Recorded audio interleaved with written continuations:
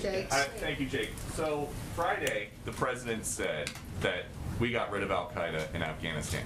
Sunday, the Secretary of State said there is Al Qaeda in Afghanistan.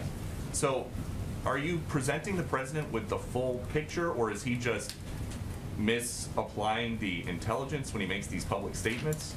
The president was referring to Al Qaeda's capability to attack the United States, which the intelligence community tells us today is not present in Afghanistan. Today, it is not present in Afghanistan. What is present in Afghanistan right now to our forces at the airport is a serious threat from ISIS K, which we're trying to deal with. And of course, there's the possibility that Al Qaeda could reconstitute an external plotting capability in Afghanistan.